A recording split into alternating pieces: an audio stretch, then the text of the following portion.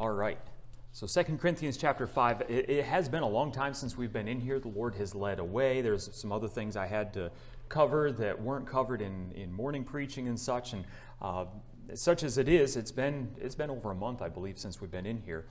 Uh, but in chapter 4, he was talking about the afflictions of, of Christ and, and uh, that, you know, in verse 16 it says, For which cause we faint not, but though our outward man perish, yet the inward man is renewed day by day. Uh, we talked a little bit about that in uh, the washing of water by the word that helps in that renewing process. Uh, it helps with the, the process of um, having our minds renewed in Christ, uh, renewing that mind of Christ in us. And, and uh, as we talked about this morning, there is a mortifying of the flesh. I guess it was in the men's class we were talking about mortifying the flesh. And there's a mortifying the flesh that has to happen. It's a daily dying unto the Lord. And, and that's what he says here. You know, we, uh, uh, uh, verse 10, always bearing about in the body the dying of the Lord Jesus, that the life also of Jesus might be made manifest in our body. And so if there's new life in Christ in you, we ought to be bearing that about in our bodies. All right, and so this is this is kind of where we're tying all of this into. Now, once we get on into further into the chapter here, we're going to see some things about the judgment seat of Christ and uh, all of this, and, and I find it very. Um, I don't like the word ironic. It, it's just the Holy Ghost leading and guiding and such. But the things that we've been looking at in second or in First Peter, uh, we've also kind of touched on in the morning preaching at other times, and now here we are uh, back in Second Corinthians, and the Lord led me to this before I even realized that this stuff was in here, really. And so we're going to be we're going to be looking at all of this, examining all of this. Uh, as we were looking at that uh, in in First Peter chapter four that is dealing very much with the judgment seat of Christ uh, and Jesus Christ's uh, afflictions being played out in our body and how we are saved from judgment as He brings these things to our mind. Uh, we will all have to stand before, before God, uh, Christians, unsaved alike. We will standing before Jesus Christ, our eternity paid for and sealed and already judged. The sin, uh, our sin was laid upon Jesus Christ and was judged at the cross and in the fires of hell and sealed by his re- resurrection. And so that is not what our judgment seat is going to be. Our judgment seat is going to be much different. However, as we're going to see, we'll just read in, in verse 10 really quick. Uh, we're going to see that there is a judgment seat that we will have to stand up against. Okay, now watch this.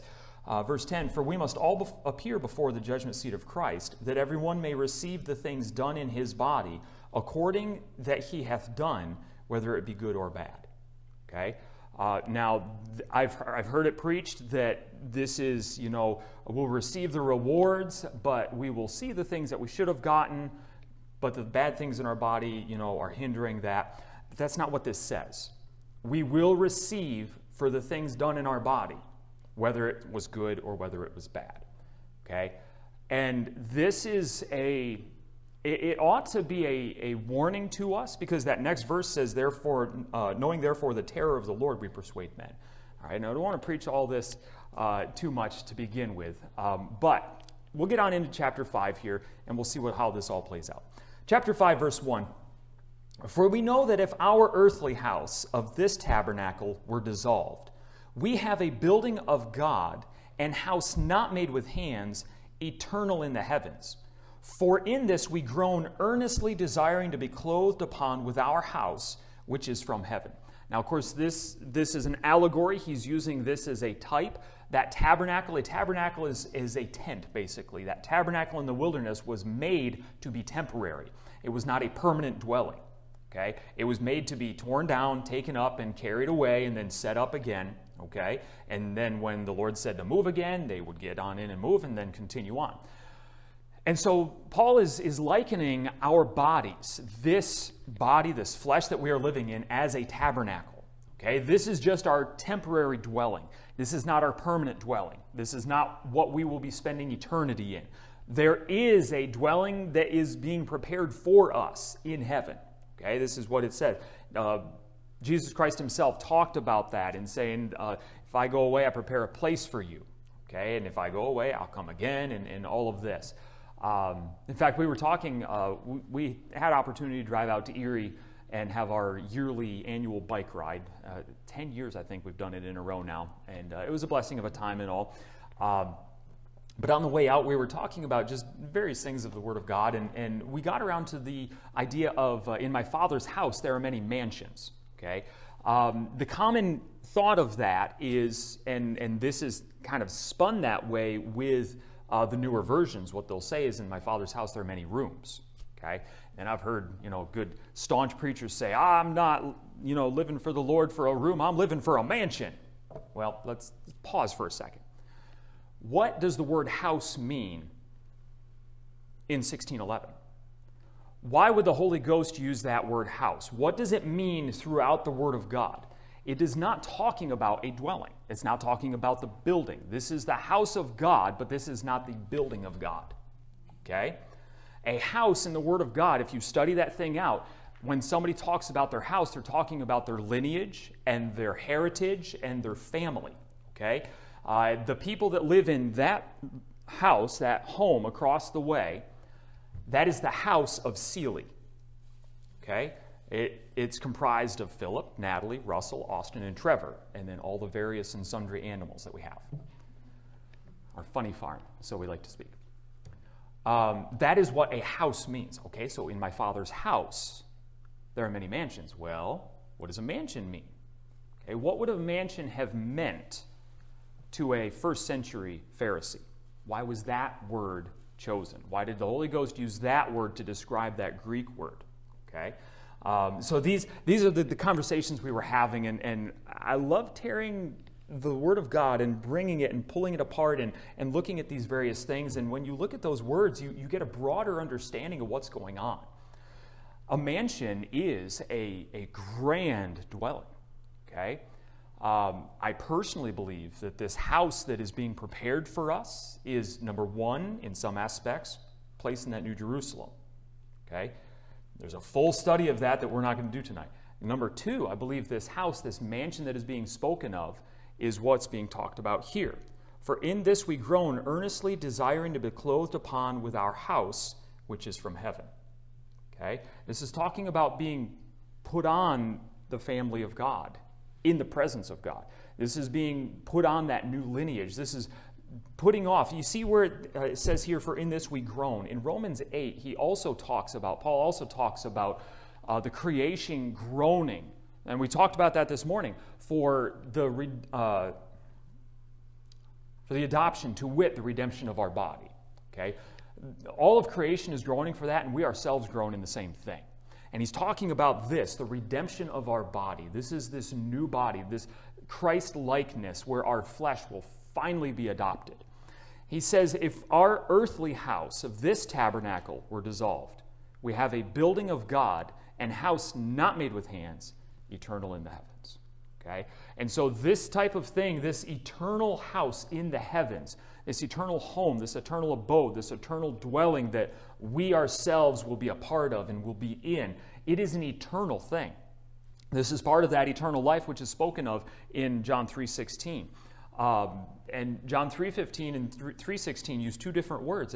There's uh, everlasting life spoken of, and then there's eternal life spoken of. Everlasting life has a beginning but no end. It lasts forever, but there is a starting point. That is when your life starts in Christ Jesus. That is when the moment, the instant you are born again, your everlasting life has begun. But what is that eternal life that he speaks of? Well, this is the life that we now live in the flesh. We live by the faith of the Son of God. That is an eternal life. That faith of the Son of God is eternal life. Uh, the Spirit of life in Christ Jesus. The law of the Spirit of life in Christ Jesus hath made us free from the law of sin and death. All right, so in him is life and life abundantly.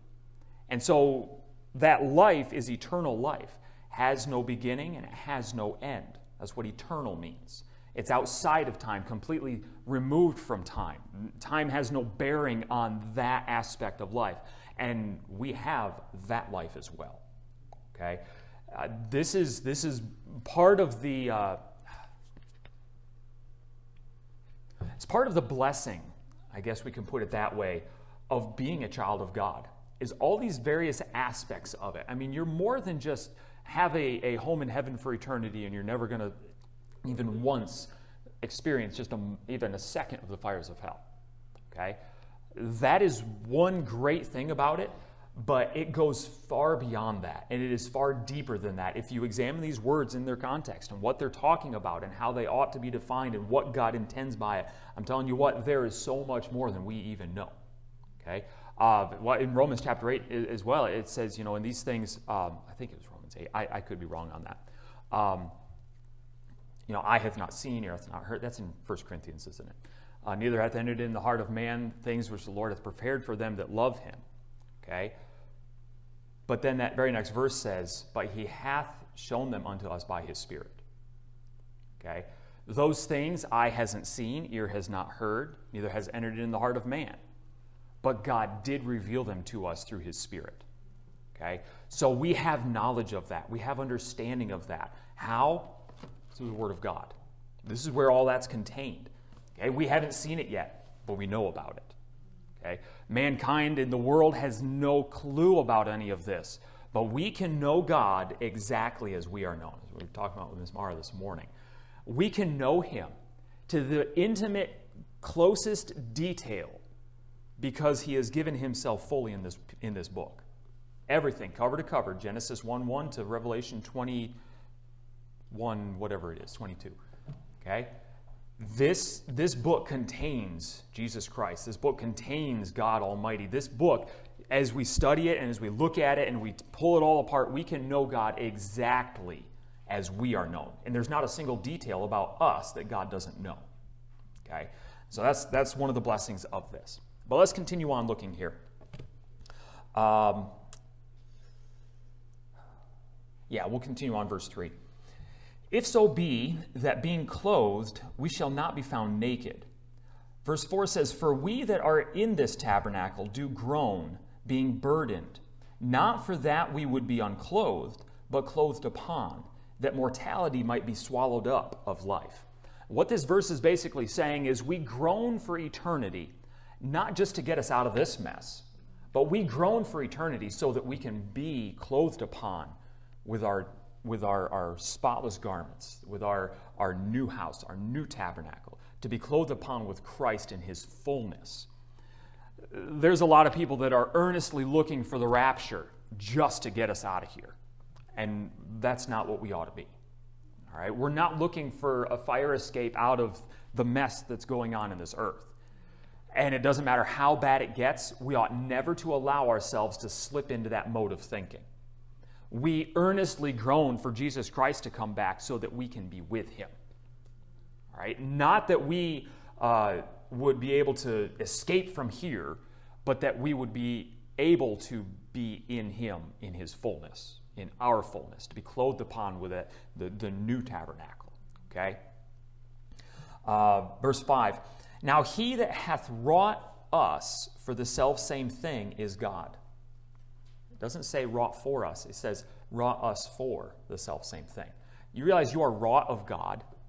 Wrought iron is iron that has been taken in its rawest, in, in its rawest form and has been smelted down and then has been put in a fire and then has been heated and worked and beaten and heated and worked and beaten and heated and worked and beaten and, and it's wrought into something useful. Um, that's where we get the term raw iron. Okay? The same thing is what God has done in us if you're born again. Salvation is a thing that is wrought of God in you. He builds it in you. And it comes through burning and quenching and, and pain and travail. And I, am telling you what, uh, those of you who have experienced childbirth understand that term travail. Okay? You know what that's all about. Husbands and wives alike, you've been there, you've seen it, you know the pain, you know the travail of new birth. And the new spiritual birth is the exact same way.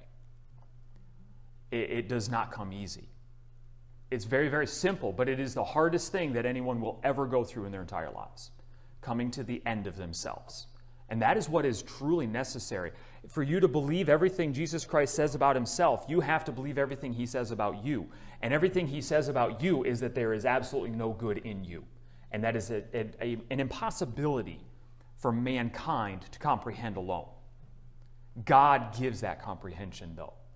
God gives them that. And with that, He gives them repentance, and that enables them to acknowledge the truth. Okay? If God peradventure will give them repentance to the acknowledging of the truth. And so, we as teachers, we as preachers, uh, Sunday school teachers, uh, if, you, if you're a lay speaker, you know, however it is that you uh, serve the Lord, even just preaching in your day to day life out in the community, we have to be. Uh, that, that passage in, uh, I believe it's in 2 Timothy, talks about that the servant of the Lord must not strive, but be gentle to all men, in meekness instructing those that oppose themselves. And then the rest of that verse.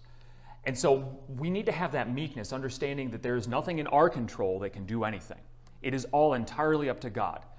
Preach the word. Don't preach your fancy homiletical outline. Don't preach your, your fancy ex, uh, experiences. Uh, there's a place for stories, there's a place for experiences, there's a place for allegory. But uh, I really believe very firmly what it says in Ecclesiastes, I believe it's 5 2, where it says uh, uh, to let thy words be few. Okay? Let thy words be few. You can say a whole lot of words as long as they're coming from the mouth of God. If not, let thy words be few. Uh, let another man praise thee and not thine own self. This is a verse that God continually brings to me, knowing and understanding that I need that constant reminder because in me, that is in my flesh, dwelleth no good thing. And there is that, that root of pride that can, that can still rear its head up from time to time. And that is a thing that is continually being rooted out. Oh, but Satan, doesn't he just love to plant tares among the wheat? And so we have to be cautious on these things, being on guard. Uh, 1 Peter uh, 5 8, you know, uh, be sober, be vigilant, for the ad- your adversary, the devil, is a roaring lion, walketh about seeking whom he may devour. And that continual uh, seeking is being done by Satan, but it's also being done by Jesus Christ. They're both seeking. Satan is seeking whom he may devour. Jesus Christ is seeking to save the lost.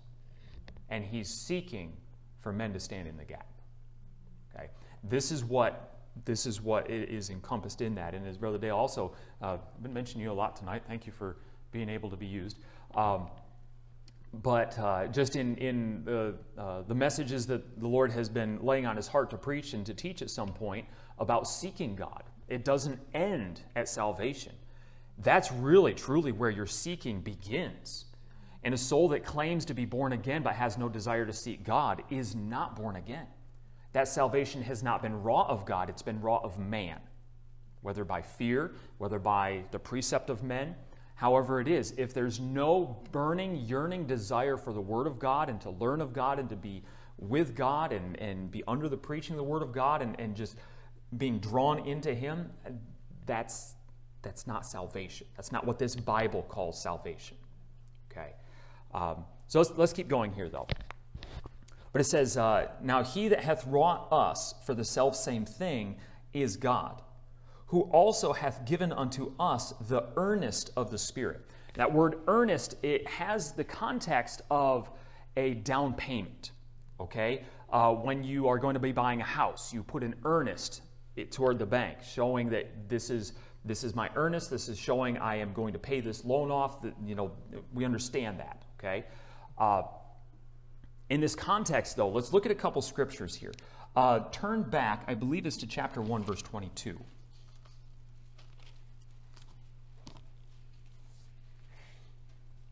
Looks, actually, let's look at verse 21. 2 Corinthians 1 21. Now he which establisheth us with you in Christ and hath anointed us is God.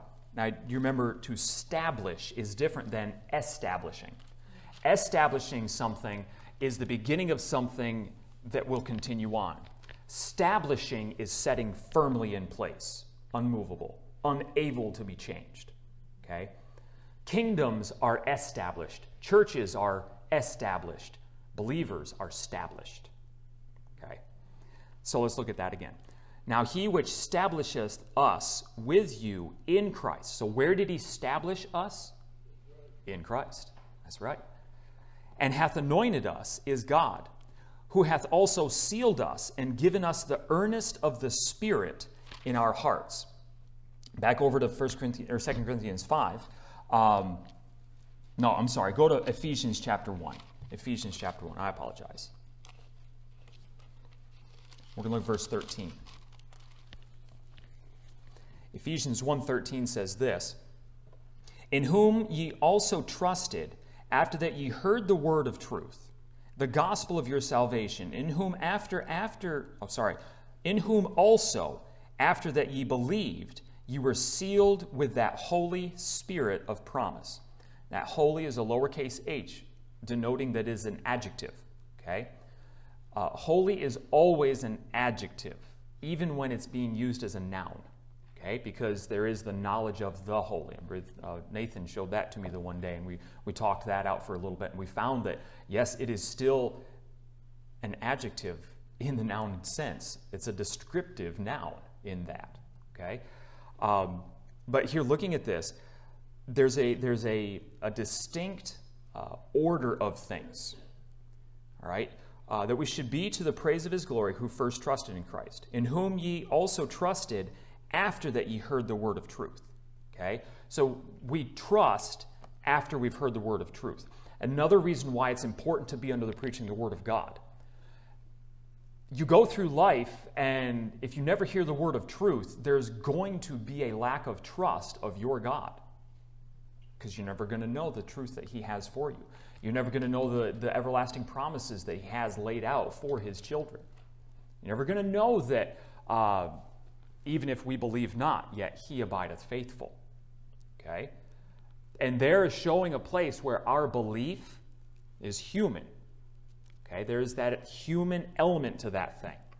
That is our choice whether to believe the promises of God or not. Ignorance is not an excuse. Okay? Um, ignorance is much more. See, this is another one that we've, we've begun studying out. All the newer versions change that word ignorance. Okay?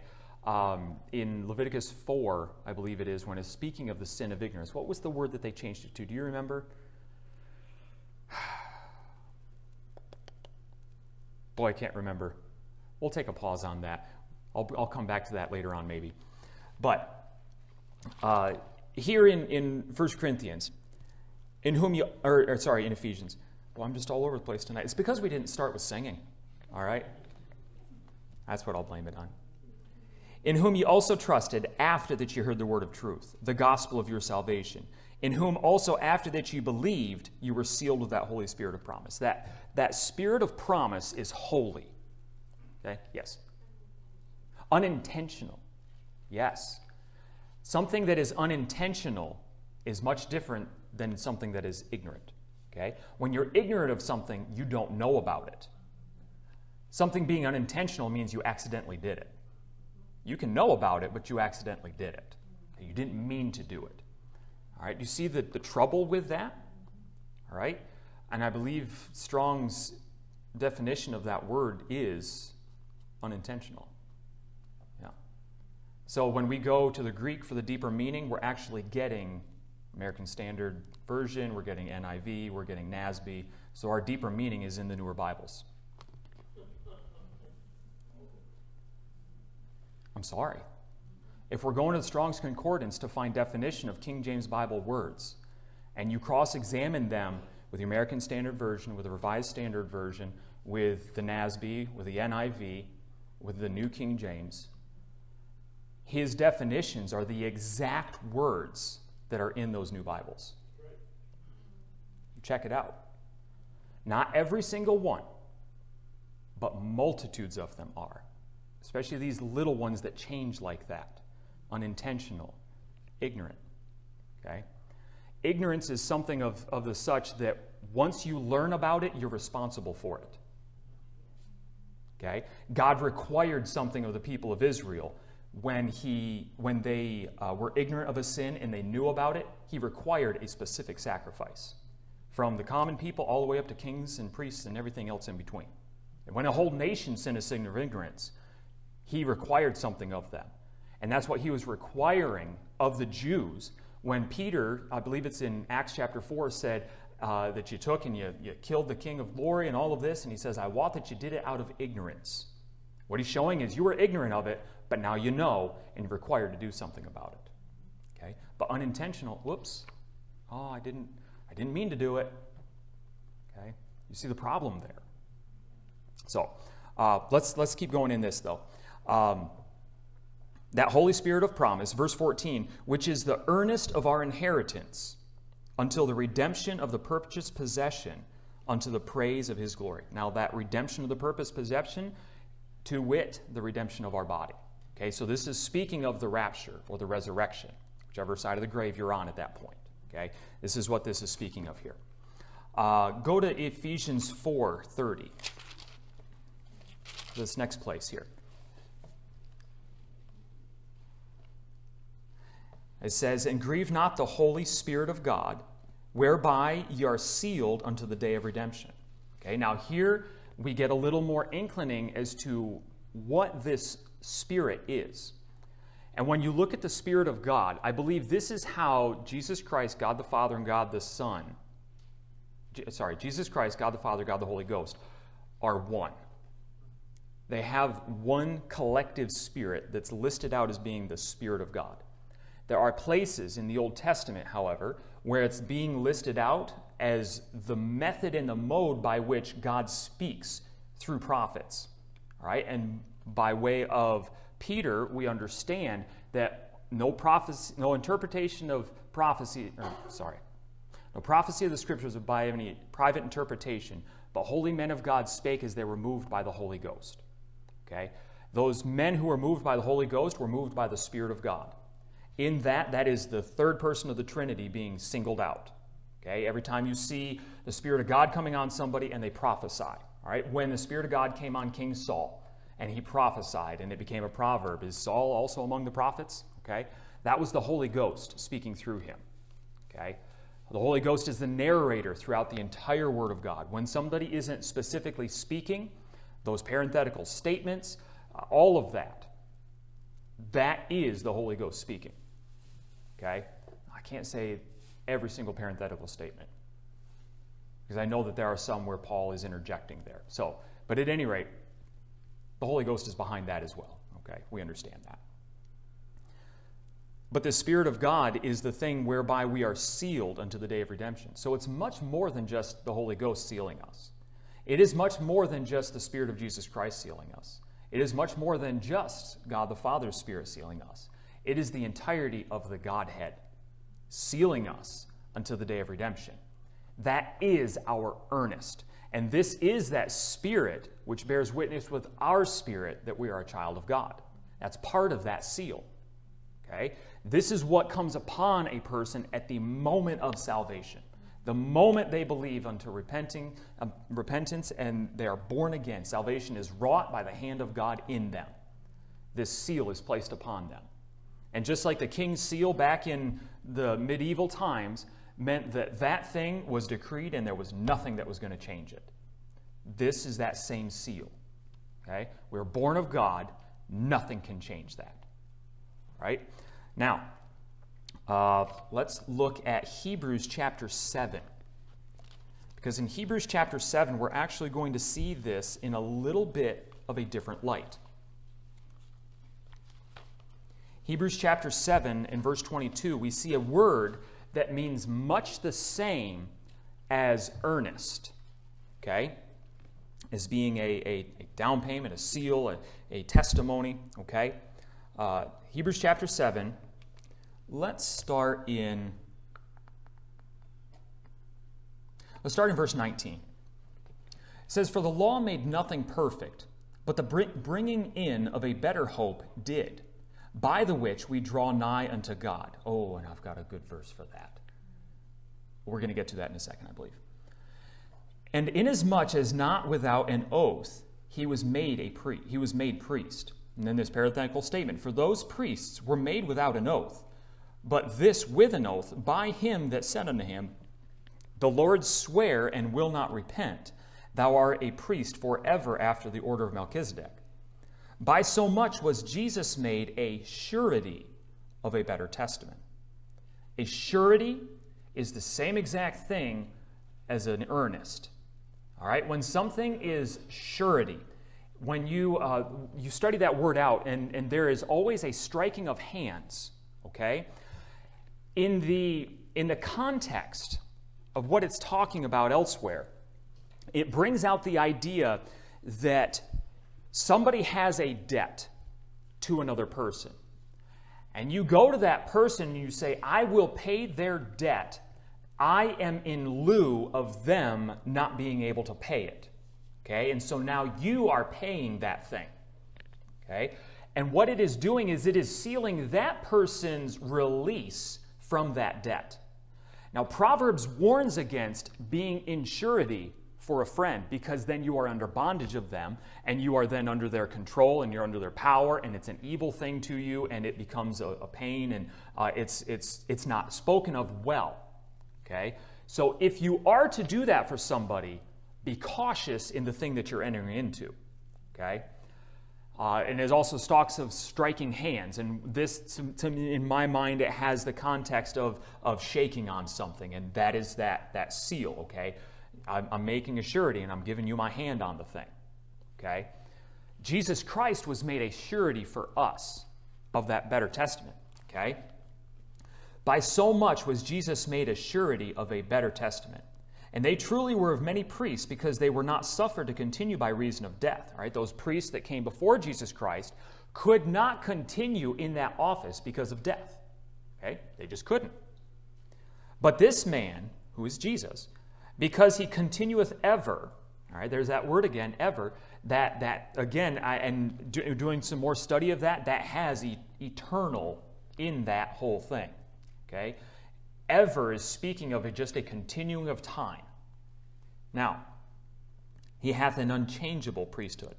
All right? Wherefore he is also able to save them to the uttermost that come unto God by him, seeing he ever liveth to make intercession for them. Again, that's where we see that that spirit of intercession spoken of in Romans chapter 8 is not the Holy Ghost, it is Jesus Christ himself. He is the one that is ever making intercession for us. All right? Uh, and this is, a, this is a beautiful thing, the, the things that we can see about Jesus Christ and his continuing ministry toward us. He doesn't just take us and then leave us at the point of salvation and say, well, there you go, we'll see you in heaven. No, that is a, it is a continual priesthood that he performs for us, ever interceding. As Satan, that accuser of the brethren, comes up and accuses those things that we do in the flesh, he says, No, I've paid for that. No, I've paid for that. No, I've paid for that. Okay? This is, this is that interceding that Jesus Christ does for us. Of course, there's also that, that uh, idea of intercession where uh, there are groanings which cannot be uttered. Okay? You don't even know what to say, you don't even know what to pray, you don't even know how to pray. Jesus Christ intercedes in that, in his spirit as well. Okay? But this surety of a better testament, that excited me when I saw that uh, in relation to an earnest, that Jesus Christ was made that surety for us. It's a sure thing. It is going to happen. It is a down payment, and he has taken that entire thing on himself. He has been placed in that position of surety. All right, and we have that ministry of reconciliation. Okay, back into 1 Corinthians, or sorry, 2 Corinthians chapter 5.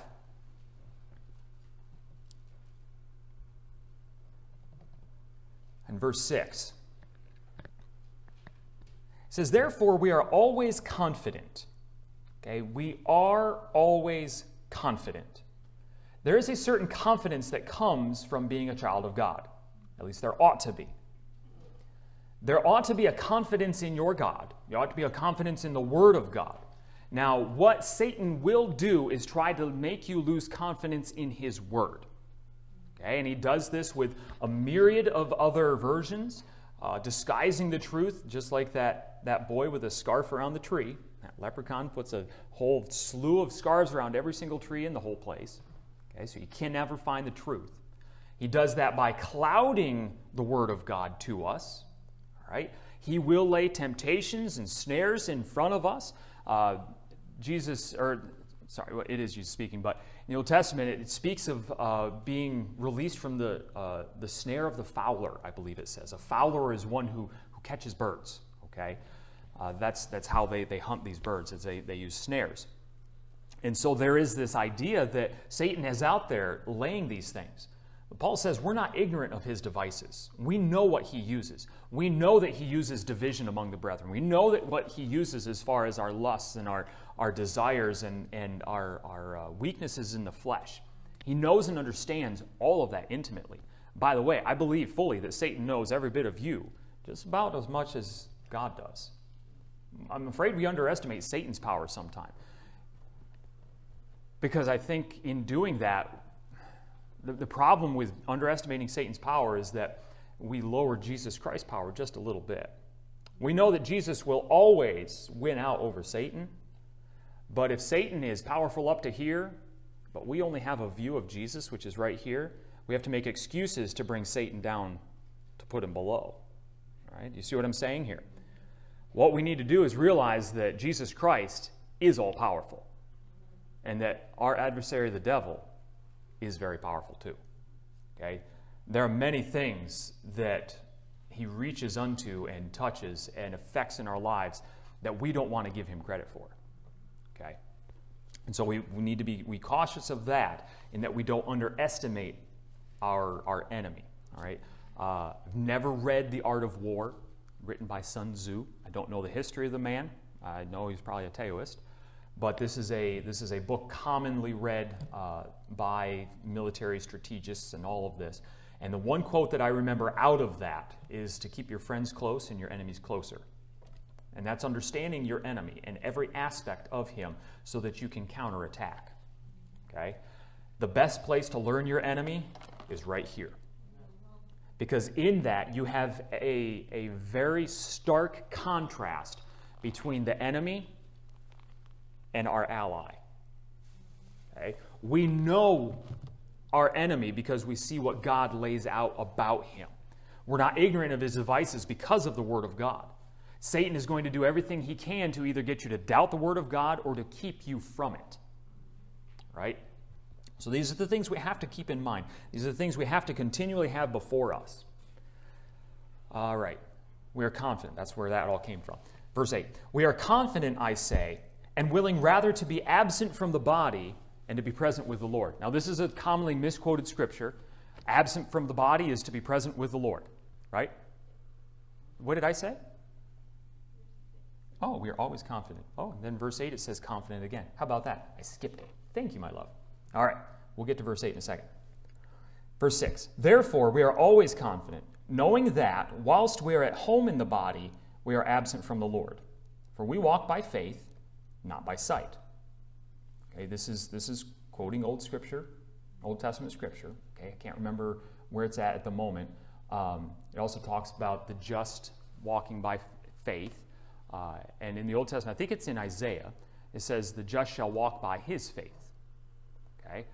Um, relating that faith to the faith of Jesus Christ. The life that I now live in the flesh, I live by the faith of the Son of God. Okay, so we if we live by that faith and we walk by that faith, we'll never stumble. Okay? God has given us everything we need to live, to coin the phrase, a victorious Christian life. He's given it all. But when we get our eyes off of Him, when we get our eyes off of eternity, when we stop our ears and when we reject and don't want to receive truth, that's when we fall into temptations and snares. Okay? But this part here, saying that we are always confident, knowing that whilst we are at home in the body, we're absent from the Lord. Okay? While our soul and spirit are right here in this, yes, we are seated in Christ in heavenly places. Our spirit is there dwelling in Him. All right? We are in Christ and He is in us. He hath made us sit there. Okay? But we are absent from the Lord. There is a division even still. We cannot be as nigh as we will be okay, because of this flesh. Now, that's why it's important to mortify our members, uh, you know, dying to the flesh, continually dying unto the Lord. Uh, it says, We walk by faith, not by sight. Verse 8 says, We are confident, I say, and willing rather to be absent from the body and to be present with the Lord. All right, so this is, this is showing that, and taking in the context of the whole thing, looking at, at uh, all of chapter 5 here, earnestly looking to be with Christ, earnestly listening for that, looking unto Jesus, looking for that appearing, looking for that blessed hope, looking for Him to come, listening for that final trumpet. Okay? This ought to be our, our continual mindset and our continual life. But in that, we're not doing that just to escape the trials and tribulations of this life. We are looking for that to be with Christ. All right, Paul said it on this wise that uh, it would be far better for him to go and be with the Lord but it would be better for those ones that he was writing to to remain in the flesh. All right? I believe that's in Philippians. And so he kind of relays this same thing here.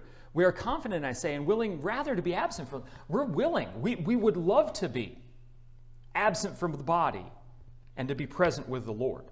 And the way that this is, is that the instant you are absent from your body, you are already present with the Lord because you're already in Him. Okay? Wherefore, we labor. Now, there again, laboring is not working. We are not working to keep our salvation. We aren't working even to keep us in God's good grace. But we are laboring for a very specific reason that whether present or absent, we may be accepted of him. Now, I started looking at this word accepted, and in context of every time this thing is being used, it is generally speaking of a sacrifice being proper so that the Lord can accept it. Okay? You go through all through Leviticus, this is used again and again and again. Uh, in Deuteronomy, he says, uh, If these things are brought to me, will they be accepted of me? Uh, uh in Malachi, he says that uh, in uh, relating to the things that the priests were bringing to the Lord. And he says, You go ahead and offer this stuff to the governor. Will it be accepted of him? Okay? So, this, this being accepted of him, this has nothing to do with our position in Christ, but this has everything to do with our walking in him. Okay? We labor to maintain nigh. Okay? With that in mind, turn to Ephesians chapter 2. We labor to maintain nigh. Ephesians chapter 2 and verse 13. It says, But now, in Christ Jesus, ye who sometimes were far off are made nigh by the blood of Christ. All right, nothing between. And it's the blood of Jesus Christ, Messiah Himself, that made us nigh. Okay? But as we know in Paul's admonitions, cleanse your hands, O ye sinners, purify your hearts, ye double minded. Okay? In, in, these things, he says, draw nigh unto God, and he will draw nigh unto you. Well, why would we have to draw nigh if we were made nigh? This is speaking of the initial nigh. Okay? Uh, let's back up just a little bit and look at verse 11 now. Wherefore remember that ye being in time past Gentiles in the flesh, who are called uncircumcision by that which is called the circumcision in the flesh made by hands. All right, so the Jews are calling the Gentiles the uncircumcision. Right, that's what that's saying. At that time ye were without Christ, being aliens from the commonwealth of Israel, and strangers from the covenants of promise, having no hope and without God in the world. All right, this was us before Christ. But now we are made nigh by the blood of Christ. He is broken down. Uh, it says, uh, verse 14, For he is our peace, who hath made both one, both Jew and Gentile one, and who hath broken down the middle wall of partition between us. All right? He's taken that down, removed it entirely, and having abolished in his flesh the enmity even the law of commandments contained in ordinances, for to make in himself of twain one new man, so making peace, and that he might reconcile both unto God in one body by the cross, having slain the enmity thereby, and came and preached peace to you which were afar off, and to them that were not. All right, so Jesus Christ preached peace both to us which were afar off, the Gentile world, and those that were nigh, the Israelites, the Jews. And what he did was he broke down that middle wall of partition that separated Jew and Gentile, made us all one, that he might reconcile us all by his cross to God. All right? Then from there he has given to us that ministry of reconciliation. All right, that is the that's the gospel that we preach. That reconciliation. Be ye reconciled unto God. Okay? Um,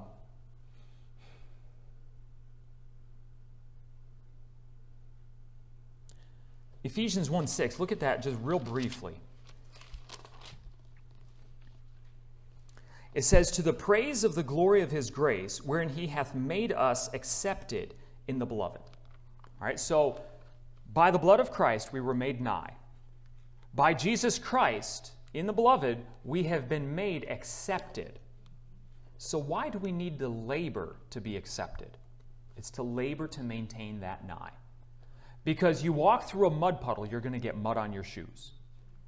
We're not of the world, but we are in the world. And we are still in our flesh. Because of that very thing, we have got to maintain nigh, and that is a labor. We labor by coming to church. We labor by getting in His Word. We labor by prayer. We labor by fasting. We labor by family devotions. I'm telling you what, it is a labor to maintain that nigh between you and God, that there would be nothing between.